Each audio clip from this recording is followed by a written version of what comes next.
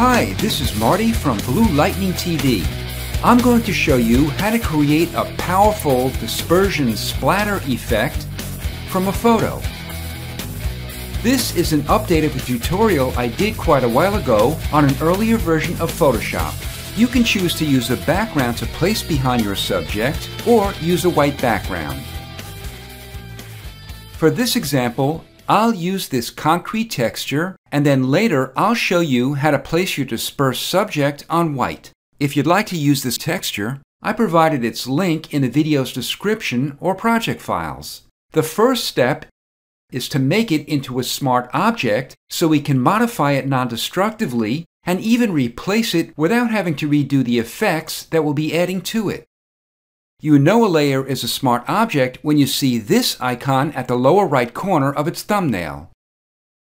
Go to Filter, Blur, and Radial Blur. Make the amount 10 pixels, the blur method is zoom, and the quality is best. Then click OK. Open an image of a subject you'd like to use for this project. I downloaded this one from Shutterstock.com. We want to remove the background from the subject, so we need to make a selection around the subject. There are many ways to make selections, and your choice should depend on the characteristics of your image. Since the background in this image is white, I'll use the Magic Wand tool. If you're using this tool as well, make sure the Add to Selection icon is active. This will add to the selection as we click on different areas of your image.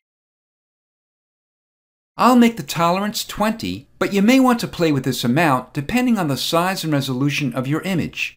Make sure Contiguous is checked.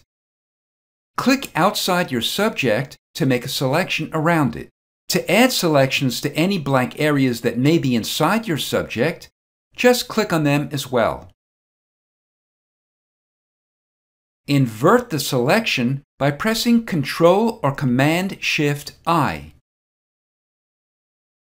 Click the Refine Edge button or go to Select and Refine Edge.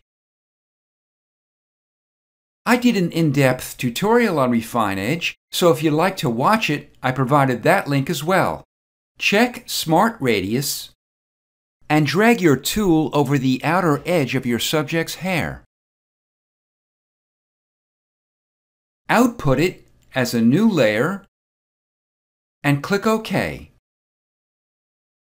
To place your subject onto your poster, press V to open your Move tool and drag it onto the tab of your poster. Without releasing your mouse or pen, drag it down onto the background and release. I held my Shift key when I dragged it down to keep it centered.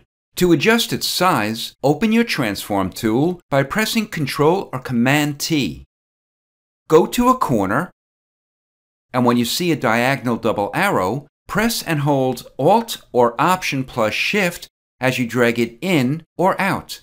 Then, click the check mark at the top. Since I already sized my subject earlier, I'll click the Cancel Transform icon. If your subject has a fringe surrounding it, we can get rid of it by going to Layer, Matting, and defringe. Make the width 1 pixel and click OK. Convert your subject into a smart object. Make a copy of it by pressing Ctrl or Command J. Name the top layer Original and the layer under it Liquify. Click the eyeball icon to hide the top layer.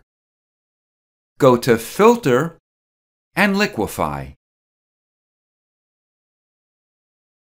The only tool that we'll be using is the Forward Warp tool. If you want to make your tool bigger or smaller, just drag the size slider. Drag out the edges of areas in your subject.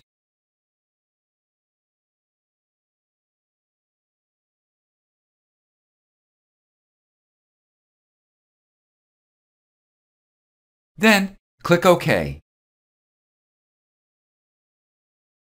Click the Layer Mask icon to make a layer mask next to the liquify layer. Invert the layer mask by pressing Ctrl or Command I.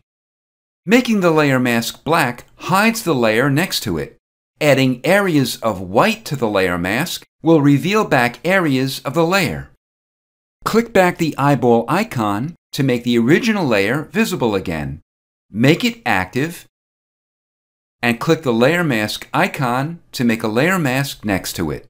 With the layer mask active, we're going to use black splatter brushes to hide areas of the subject. I provided a direct link to a splatter brush preset that you can download into your Photoshop brush preset folder. If you're not sure how to install brushes, I did an in-depth tutorial showing how to do this. I provided that link as well. After you install the splatter brush preset, open your brush tool and brush picker. Click the gear icon and click splatter. Click OK to replace the current brushes with the splatter brushes. Click the gear icon and click Large Thumbnail. To see all the thumbnails at once, just drag outside the brush panel. Click on a brush and press Enter or Return. Since these brushes are huge, you'll need to reduce their sizes. To do this, make sure your caps lock key is off and press the left bracket key on your keyboard until the brush is sized to your liking. Make sure black is your foreground color. Click on the same spot a few times until you can clearly see the background under your subject. Open back your brush picker and pick another splatter brush. Press Enter or Return and reduce the brush's size. Continue to stamp brushes over your image to reveal the background under it. Press the left or right bracket key to reduce or enlarge your brush.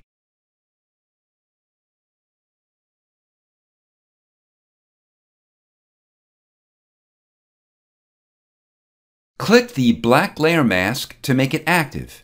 Adding white onto the layer mask will reveal areas of the liquefied layer. Press X on your keyboard to make your foreground color white. Stamping a splatter brush onto and outside your image will reveal the liquify layer through the layer mask. Next, we'll increase the saturation and vibrancy of your subject's dispersion. Make a copy of the liquify layer by pressing Ctrl or Command J. Click the adjustment layer icon and click Vibrance. To restrict the adjustment layer to effect just the one layer below it, we need to clip it to that layer. To do this, either clip the clipping mask icon or press Ctrl Alt G on Windows or Command Option G on a Mac. Slide the vibrance and the saturation all the way to the right. To see it on a white background, Scroll to the bottom of the Layers panel, make the background active, and click the New Layer icon to make a new layer above it. Fill it with white, and since white is your background color, press Ctrl or Command plus Delete. This is Marty from Blue Lightning TV. Thanks for watching.